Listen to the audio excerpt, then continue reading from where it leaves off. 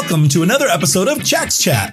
Join Chad Chelius and me, Dax Castro, where each week we wax poetic about document accessibility topics, tips, and the struggle of remediation and compliance. So sit back, grab your favorite mug of whatever, and let's get started. Welcome, everyone. Today's podcast is sponsored by Tamman Inc., a full service accessibility and technology practice Tamman partners with organizations of all sizes to shift mindsets and empower people. Wherever you are on your inclusive journey, Tamman's team can help you with web accessibility assessments and accessible digital solutions. Tamman believes that access to information is a human right, so head on over to tammaninc.com to get more information. My name is Chad Chelius. I'm an Adobe certified instructor as well as director of training solutions and principal at Chax Training and Consulting. And my name is Dax Castro. I'm Director of Media Productions here at Chax Training and Consulting.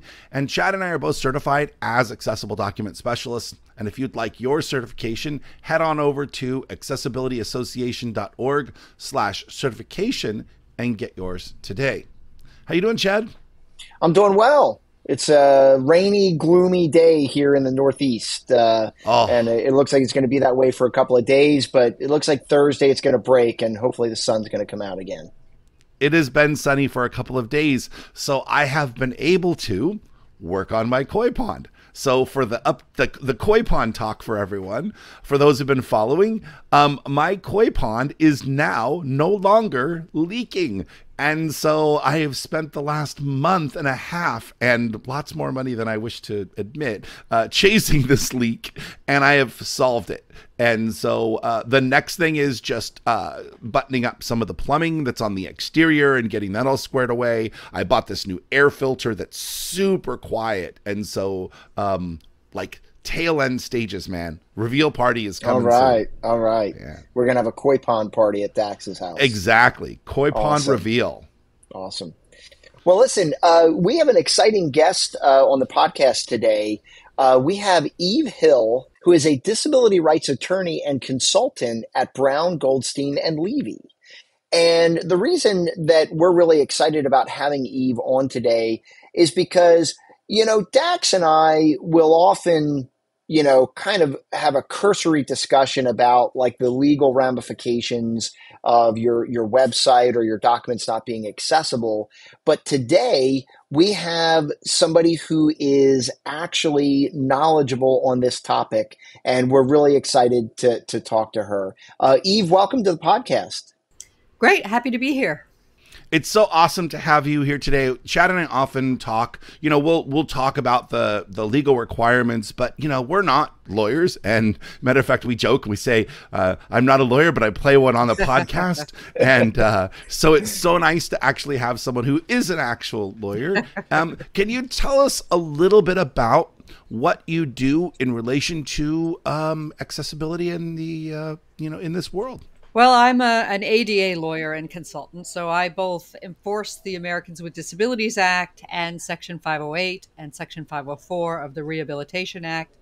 And I uh, help companies, uh, businesses, state and local governments to comply, to do implement good practices so that they result in compliance. And I do that across a, a wide array of context. So I was just saying I, I have a case regarding blind prisoners right now, as well as a case against the Veterans Administration for not serving homeless vets.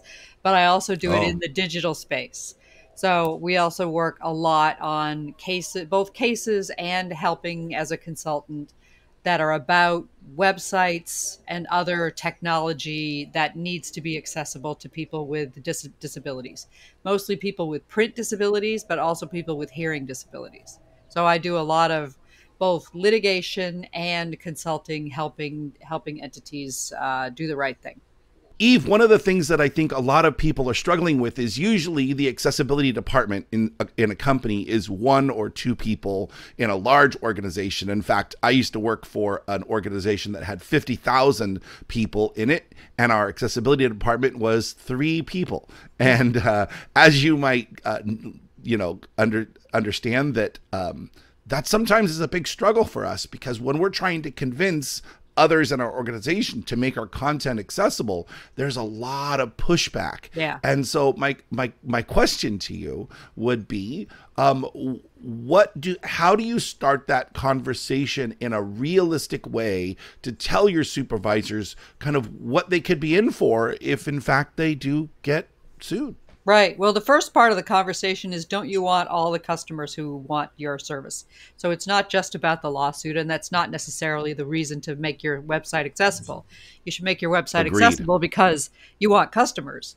And accessibility helps not just customers with disabilities, but it makes better websites and better documents that, that everybody can use.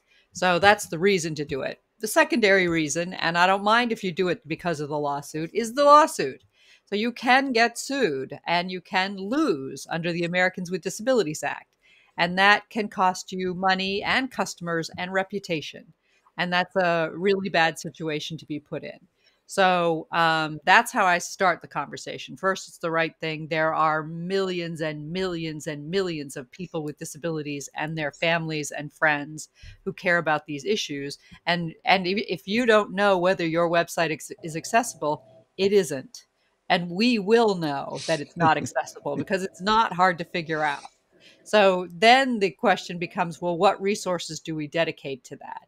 And you need expertise. You need an office with ha- with expertise, but you also need to build accessibility into all your development. All your content creators should know how to make a document accessible. That's where the rubber really meets the road is when you create the first document or when you create the first web page that person needs to know how to make it accessible. It ain't hard. It's it's a doable thing, but you need to know to do it and then you need to actually do it. And so you need expertise for the complicated stuff in your accessibility office and then you need the basics distributed throughout your content creators and then you need a voice from the the C-suite saying this is important. I want it done. It needs to be done and I'm monitoring and checking it so I will know if it's not done buying from the top Chad is so important, right? Oh, it, it's super important. I mean, you know, what, what we run into a lot, uh, what Dax and I run into is there's typically a couple of core people within the organization that see the value in, in doing this work. Yeah, yeah. The, the people who are, the, are boots on the ground, they, they understand this. They know that it's important, but they can't get the higher ups to, to see the value of why they should spend money on this, why they should invest time and energy into this. And, you know, uh, Dax and I are often brought in to speak to those C suite executives to explain to them, like, hey, guys, this is why it's important for you guys to be accessible, whether it's a, you know, and I kind of lump websites and documents into the same category because one typically leads to the other, right? You right. know, if, if, you want to make your website accessible, the documents on that website need to be accessible too. Right. Um, so, um, what, what I wanted to know from you, Eve, is when you talk about so Dax and I, you'll often hear us say that some accessibility is better than no accessibility. And so I'm really curious the the lawsuits that you see, is it because they're not fully compliant or is it because their website has egregious problems with it that that inherently make the website inaccessible? Both things happen. So it's okay. important when you're uh, when you're remediating a website that's not accessible that you focus on the things that people most need. Why do they come to your website? Make sure those are the things that you prioritize first. Then you want to achieve across the board compliance. You can get sued either way because you're failing the the standard is effective communication your communications with people with disabilities need to be just as effective as your communications with people without disabilities. And to do that, you need to make your website accessible according to the Web Content Accessibility Guidelines 2.0, 2.1 now, level AA. But in order to get to that, you want, eh, you know, you can't do it immediately or necessarily overnight. So you want to prioritize the things that are most important. Why are people coming to your website? What are they trying to get there make sure that they can get through the user way the get through what a user would want to use on your website and then focus on the less important things later but do focus on them because you can get sued for technical noncompliance as well as compliance that non-compliance that really hurts people. And what I always advise folks is have a way to avoid a demand letter. You don't want the only way that someone can communicate an error to you or a problem to you to be through a demand letter. You want to have an email address that is actually monitored right. and responded to so the person can say, Hey, I can't do this. I need to get this done. And then you can fix it and avoid a demand letter. So those are really important things. Well, you know, it's interesting that um, we, we tell people, or at least I tell people, that uh, a an accessibility statement on your website goes a long way to be able to say these are the things that we know we're doing right. Here are some things that we're working on. And by the way here's a way to contact us if there's something else that we missed. Because right. like you said that that's that doesn't immediately knee jerk reaction a lawsuit. Someone's going to say oh hey there's this keyboard trap in your pop up for whatever you know? Um and and you can take care of it but without that uh, at least uh, hey we're working on this kind of statement right. it's um, really then, it, it, encourages patience if you yes. know that you have accessibility problems and you're working on them and you're transparent about the fact that you're working on them it encourages me to be patient with you because if you yes. don't have an accessibility statement and i know your website's not accessible i assume you don't know and you don't care right well, so let's talk through the steps, right? So we're talking about the, the, kind of this thing. So the the first thing that you can do to to help kind of mitigate or or reduce the the possibility of a lawsuit is to to address what we call born accessibility, putting things the accessible components in as you develop them. But you get to a certain point you put an accessibility statement on your website, you monitor an email or form, some communication, right? But that doesn't work. And for some reason, you get the demand letter. Is that typically the first step? Let's walk through the steps of yeah. what it looks like for someone get going through the process of of this uh, uh, litigation. Once a lawyer gets involved, the first step is usually a demand letter. Sometimes the first step is a complaint in court. So not everybody sends a demand letter. And that's okay. the best practice for lawyers to send a demand letter because sometimes you can resolve things without having to go to court. So I generally send a demand letter. Um, that's your first warning. That's your first shot across the bow, if you like, to say, look, there's a problem here. I've gotten a lawyer involved. I want this fixed. This is a real priority. And that's your first, well, actually, hopefully your second opportunity to actually make the fixes that you need. So uh, the what you want to be able to do if you're in really good shape is to respond to that demand letter by saying, "Thank you for bringing this to our attention. Here's our plan. We already have a plan in progress. We just haven't gotten to the thing that you're complaining about yet. So here's our plan." And that'll that'll again encourage patience and it'll also move the things that they're complaining about up on your priority list so you can get to those things early. If you don't already have a plan, then you're in a much more difficult situation. And you need to respond by saying, here's the plan we're going to use. And and mm. get and have that be a real plan. So you want to bring in your consultants at that point to say, how are we going to do this? How are we going to get this done? And how quickly can we get it done? Dragging your feet on it is not going to help. That that does not encourage patience on the behalf of the blind person or the person with a hearing disability. Um, so you want ideally you want to be able to respond to here's the plan we already have. If you don't have that, then you want to be able to respond with here's the plan we just came up with with bringing in consultants to do. But you'll need to respond quickly. By the time you get a demand letter, the patience is is drawing thin, and people are ready to file.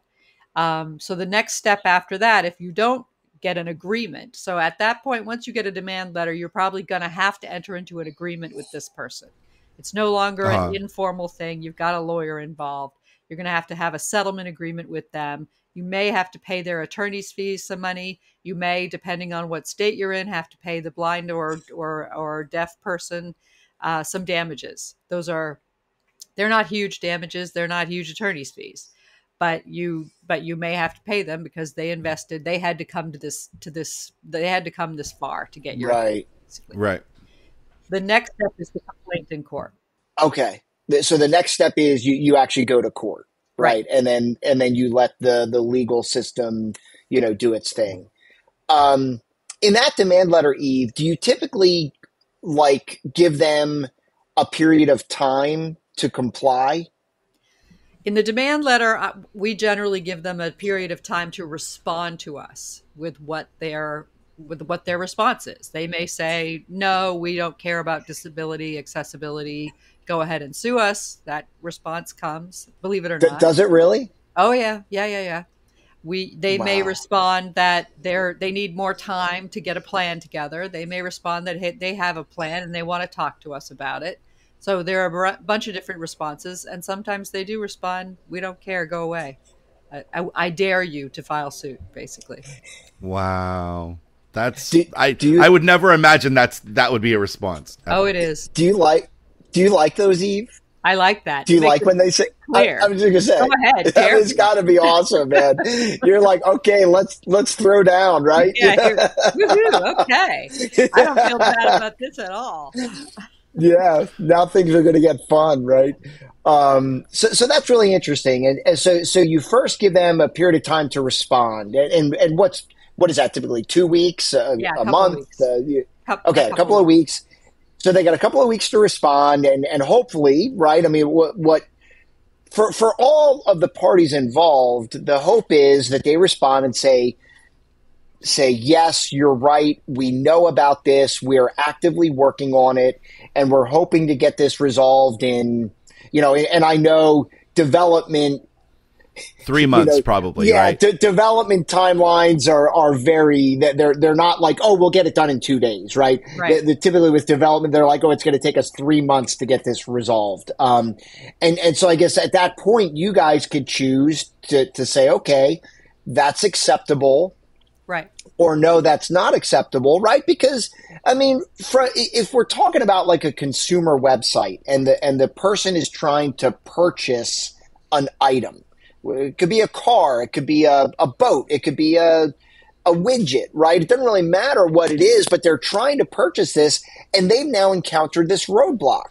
and so so if they say it's going to take us three months to resolve this, well, now they got to wait three months to be able to buy the thing that they're trying to purchase, right? And and I guess that my question my question is like, how acceptable is that, right? I mean, um, I, I can say like for most of us, it's not acceptable. Like if I'm on a website trying to buy your thing and I can't buy that thing, I, I don't know that I'm willing to wait three months for that. So Right. I'm just curious, you know, how how does that how does that work? How does that play out? Well, generally we recognize that you can't reverse time, and so that that it does take a little time to make the things accessible. How much time we're willing to to give you depends on how important the thing is that the client is trying to access. Is it medical care? You don't have 3 months. You better you got to get that worked out now. Um, is it uh, you know vaccine appointments for the COVID vaccine during the pandemic? That was really important. You can't wait a long time to Yeah. get that get your act together on that. Um, so it depends. But did I was I trying to buy a pair of jeans? Yeah, I'll I'll I'll take the hit. I'll wait for that, or I'll get it another way. I got to believe as a company, if someone tries to, if, if I'm going through this process and you say you can't get this or buy this on my website, I'm going to get on the phone with you and we're going to make it happen. figure it I am out. to get you, I'm going to get you this product. I know that there is a, uh, we were at, um, uh, John Slatin Access U conference in Yeah. Texas, and someone had brought up the fact that they had bought a Samsung washer and dryer, and that because the interface is very digital, um, they couldn't operate it because the screens told you what to do and, and there was no tactile interface. Right. Someone from Japan flew to this person's What? house and applied the tactile, Tactile stickers markers. On Wow. and then made sure that the person understood how to use it. I mean, you know, Wow. and to me that's impressive and shows a level of detail that, you know, that is uh, or a level of caring, I guess, that really um uh, makes makes it important. In fact, we have Samsung washer and dryers uh, when I was choose and, and you know what this is actually a really interesting point. I picked I could pick any washer and dryer I wanted. I didn't really have a major budget. I had a big pretty big price range. I picked the Samsung ones because of that story. Yeah, and I don't have a disability, and and I'm not. I, I, don't. Well, I have a disability. I have ADHD, but I don't have one that requires the tactile interfaces. But because that company cared, it influenced my decision to buy two thousand dollars worth of washer and dryer. So you know, it does matter. Yeah, the goodwill effects of accessibility and of just good customer service are are immeasurable. And being open, really, your first response has to be, "Thank you for bringing this to our attention. We're on it." You know, it, it's funny because we, I, I was. uh I was at a, a, barber and I was getting my hair cut and I was talking to him about what I did and he and I said we were talking about Instagram and you know what how would a blind you know I said well think about this. If you're on Instagram and you're blind, how do you know what the images are? He goes, blind people go on Instagram? Why would they do that? And and and it reminded me of a story I told him. I said, you know, there was a lawsuit where a guy sued a car company because their website was inaccessible, and the question from the car company was, why do why does a blind person need to buy a car anyway and so we had a long conversation about safety features and color and you know the, the all of the things that are not can I see the car and drive it? You know, that really still make a person, whether you're a male, female, whatever you are, as a person who wants to purchase a car, it's not just because you're the head of the household or because you're the one paying the money. It's everyone should be able to understand and, and know what it is that you're getting into and trusting your life with as you roll down the freeway right. 60 miles an hour. That's right. right? So let me ask you in Canada, they have AODA, and AODA requires that everyone, if your company has more than 50 employees, and you can correct me if I'm wrong here, if your company has more than 50 employees, um, you're required to make all your content, uh, web, web content accessible, regardless of whether it's um, public or private or whatever do you feel that that wave is eventually going to make its way to the United States? I do because websites don't really uh, pay much attention to borders. Um, and so the expectation is out there that all content on the web will be accessible. And people are not going to put up with it anymore. Blind people are not going to put up with it anymore. Deaf people are not going to put up with it anymore. Uh, they're number one going to go to your competitors, but they're number two going to file lawsuits against you. The there are the the um, most recent figures indicated there were like, 96% of of the top websites are have in, have accessibility barriers an average of 50 right. something barriers per per homepage that's ridiculous and it's getting yeah. worse instead of better so the patience has run very thin on being willing to accept a second class citizenship on the web now, now, Eve, when, when we were talking before uh, the podcast here, you brought something up, and and and it was something that I was not really aware of. Uh, you had said that the ADA applies to everyone, private businesses, right? So, so, so are, private businesses. Yeah, okay. there are twelve categories of private businesses that it applies to, but it's most everything. Any retail business is covered. Hotels, uh, transportation, all kinds of businesses are covered under the ADA, and they have the obligation to provide effective communication with people with disabilities, including vision disabilities and hearing disabilities. So, if you're communicating to the public with your website, that website needs to communicate to people with disabilities, which means it has to be accessible and that's there the only uh, defenses to that are that it's an undue burden meaning it would be too expensive to do in light of all your resources. So you don't it's not just in light of your accessibility budget uh, it's in light of all your resources and the other uh, defense is that it would be a fundamental alteration. There's almost nothing in a website that would be a fundamental alteration to make accessible. So that's that's sort of a lost cause if you're aiming on uh, relying on that. But undue burden, I'm very skeptical of undue burden uh, defenses. People will say, "Oh, it's too expensive. It's too expensive," and I and I say it wouldn't have cost you anything if you'd done it right the first time. It is not right, my right. fault. You built an inaccessible website and now have to pay money to fix it.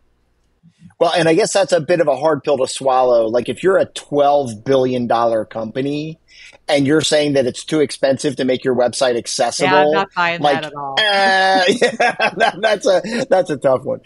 well, let's take an example that I actually received an email, I think it was last year. So we run a PDF accessibility Facebook group. It has about 40, almost 4,400 members in it. And wow. occasionally we get, yeah. And we, I started it in 2016, at the end of 2016, and it's grown immensely. It's a really great group. Um, but I got a, I received an, uh, an instant message from someone who said, I just joined your group.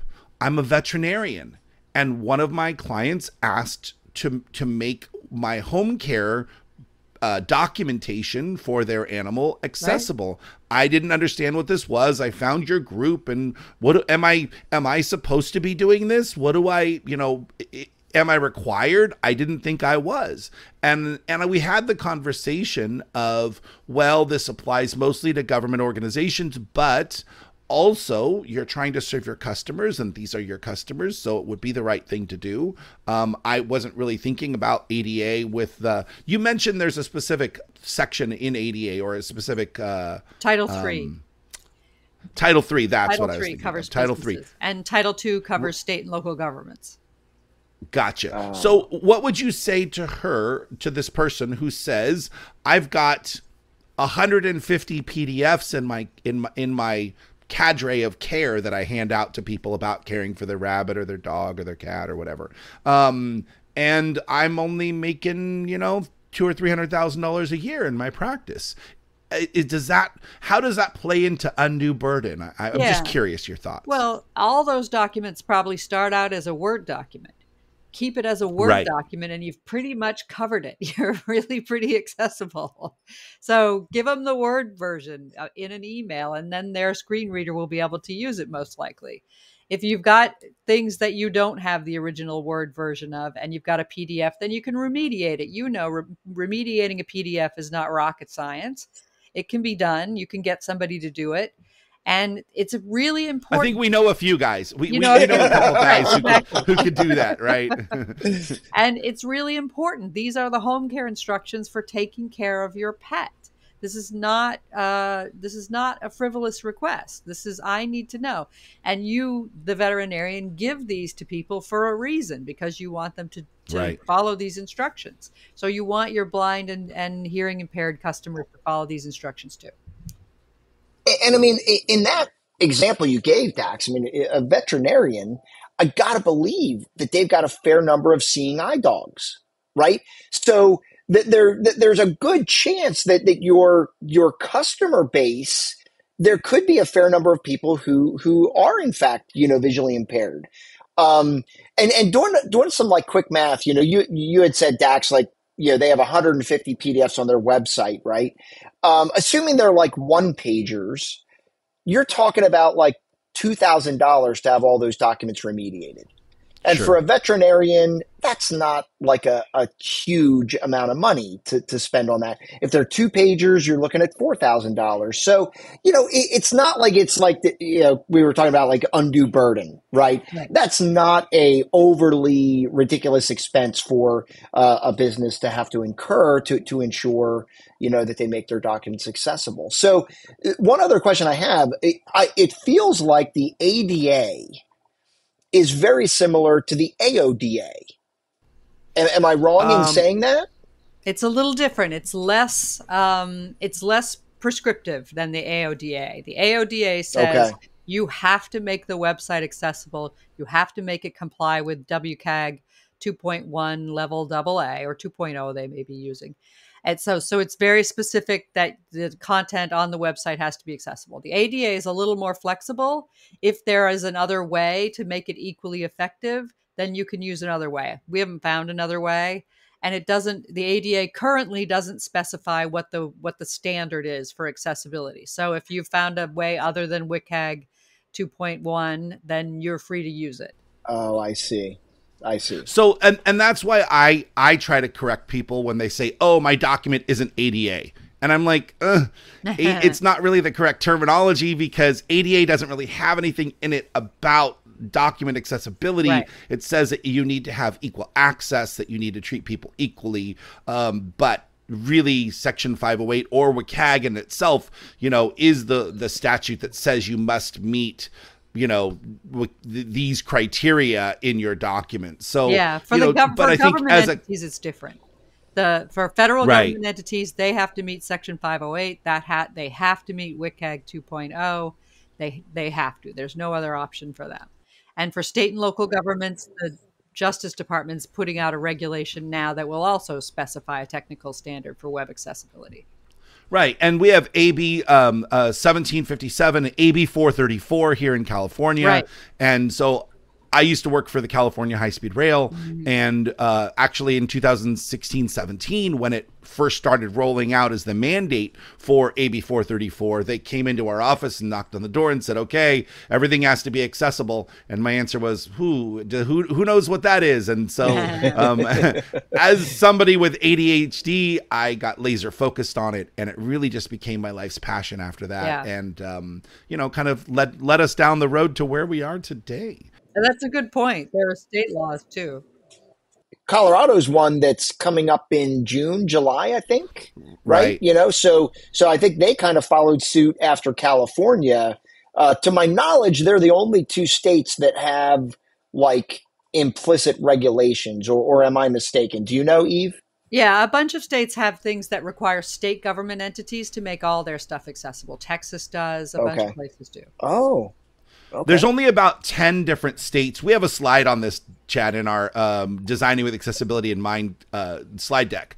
Uh, that's the map of the United States. And there's only, I think, about 10 or 12 uh, states that don't really have any state based legislation on accessibility, uh, at least in some way um, at, the, at the state level. So. I, I should Um, have known that since I teach that class. Uh, sorry about that. Uh, That's okay. We there we have so many slides. I mean, you got to think if you count all of our different classes Oh. and all the different slides we have, I bet we have a thousand slides easily. Wow. So Yeah. no worries, no worries. Um, so what I'd like to do as we we we end our in our interview here, which has been really great, Yeah. is to kind of leave people with some of the things that you would recommend that they do to start having that conversation or minimize Yeah. you know some some easy things they can do to avoid having to come see you at, at with their day in court um uh but yeah we'd love to hear You that should you should get your remediation plan going now, ahead of time, before you get a complaint. You should have a way for people to make complaints to you because that's them avoiding a demand letter. And if you do your planning up front and get going on it, take it seriously, monitor it, that's going to save you from having a court tell you that you have to do it faster than you want to. So you want to prioritize the most important things, get your plan going, get remediation happening, and then stop digging. Make sure your content creators know how to make things accessible from the beginning. Then it doesn't cost you anything, and you're and you're not making the problem worse. And and finally, I would love for you to share some contact information because I know that there are remediation teams and individuals listening right now going, "How can I get Eve come to come talk to my supervisors to tell them from your lips to their ears? Um, how do they get a hold of you?" Well, I'm at ehill at browngold.com. So ehill at brown like the color, gold like the color.com. Awesome. So it's been amazing having you on. We really enjoyed this conversation, and it's such a long conversation. We could talk about this for another hour easily, but I feel like we've done some good things here. We've talked about what the risk is, how how what you can do to help um, ease that process, communicating with your the individuals who can come onto your website, and it's okay to give them a way to complain. Don't be afraid to throw that to put that contact information out because it helps avoid the whole idea of, uh, of going to court. We've talked about some of the legislation that's out there and some of the ways that you can talk to your boss about accessibility and getting that plan, that accessibility plan together ahead of time. I think it's been been a really good session. So thank you so much for being on the program. My pleasure. Thanks for having me. yeah. Thanks so much, Eve. It- It's been a pleasure, and uh, we look forward to, to chatting with you again uh, in, in the future. Great. Well, thanks everybody for tuning in today. Uh, once again, uh, we want to thank Tamman, who is sponsoring this podcast. Uh, Tamman's a full service accessibility and technology practice and partners with organizations of all sizes to shift mindsets and empower people. So, wherever you are in your inclusive journey, Tam and his team can help you with web accessibility assessments and accessible digital solutions. My name is Chad Chelius. And my name is Dax Castro, where each week we unravel accessibility for you. Thanks, guys.